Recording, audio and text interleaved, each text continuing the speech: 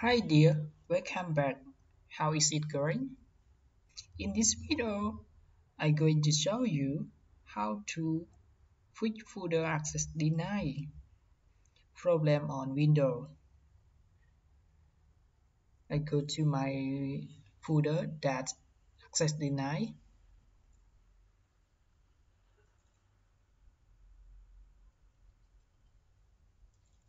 Just the, directory I cannot delete. So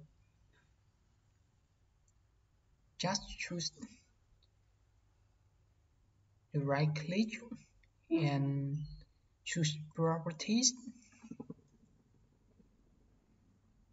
security and one change advanced final choose administrator. Click OK. OK.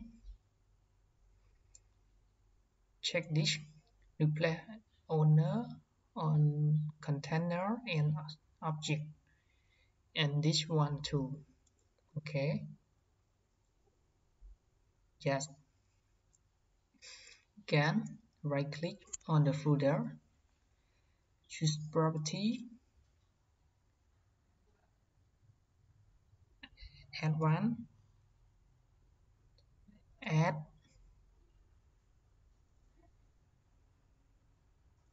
Add. Select a principal. Add one. Final. Administrator click OK. OK. Choose full control. Click OK. OK. OK. And right click choose delete. Okay the folder we can delete. Before we can't delete the folder. So we show the message folder access denied now it worked fine thank you for watching. Don't forget to click subscribe hit alert button and comment share this video. Thank you. Sorry my english not good.